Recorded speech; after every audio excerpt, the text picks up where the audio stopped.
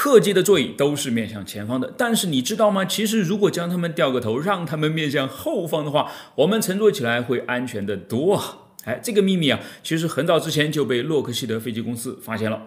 他们当时通过一系列的对比实验发现，当飞机在突然停下来的时候，比方说迫降或者是坠机的时候呢，面向后方的座椅往往比面向前方的座椅对乘客而言更加的安全。原因嘛，其实很简单啊，因为在此期间呢，我们的背部和头部会由于惯性被紧紧的压在座椅上，所以大部分的冲击力都会被它们给吸收掉了，造成的伤害自然就减少了嘛。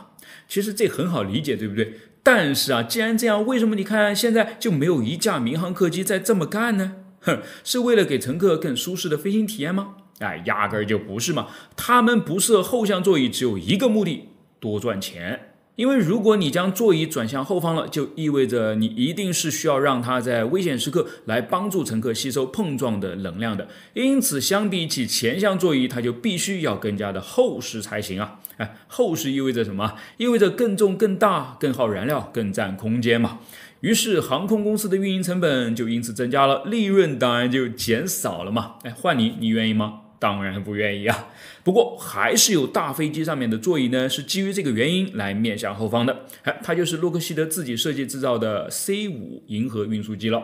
在货舱上方，这架飞机还配备了一层可以容纳下大约八十名乘客的客舱层。他们的座椅啊，就是通通面向后方的。哎，当然在这儿，安全是比经济更重要的东西了。理由成立啊！